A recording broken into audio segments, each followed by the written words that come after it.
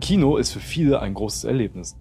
Nach und nach wird es nun aber von Streamingdiensten wie Netflix und Disney Plus abgelöst. Oder?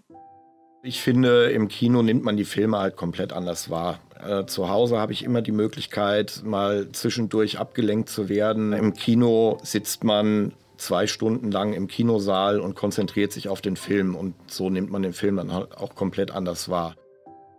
Mein Name ist Stefan Brögler. Ich arbeite seit 2007 als Theaterleiter hier im Cineplex Olpe. Also die jüngeren Leute ins Kino zu bringen, wird zunehmend schwieriger, weil Streaming ist natürlich ein großes Thema. Disney Plus kostet 8, 9, 10 Euro im Monat. Dafür kriege ich nirgends ein Kinoticket oder nur ganz selten ein Kinoticket. Man erkennt eine gewisse Tendenz, dass äh, die jüngere Zielgruppe ein bisschen wegbricht. Früher sind sehr viel mehr jüngere Leute ins Kino gegangen, die ähm, jährliche FFA-Auswertung der Kinobesucher zeigt das auch, den Anteil den, der äh, einzelnen Altersgruppen. Und da ist tatsächlich eine Tendenz zu sehen, dass so die, die Zielgruppe 16 bis 25 immer mehr wegbricht.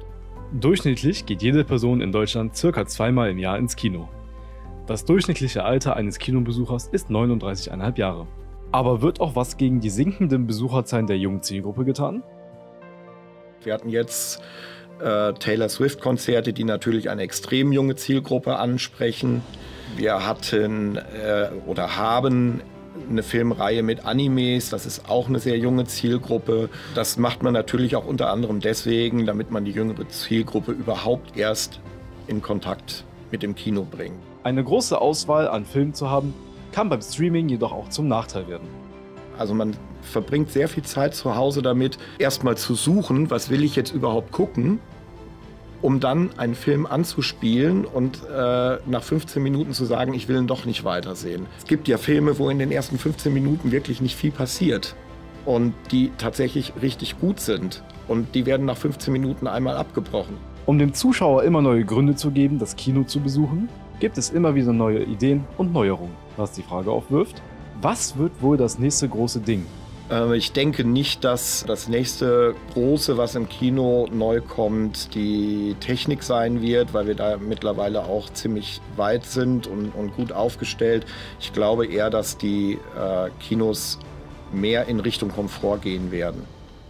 Noch gibt es Kinos und noch können sie gegen die Streaming-Anbieter aufgrund ihrer Vorteile wie der Tonqualität und der großen Leinwand standhalten. Fakt ist aber, das Kino muss sich verändern und attraktiver werden, um die Gäste auf Dauer halten zu können. Denn sonst bleiben die Kinoreihen leer.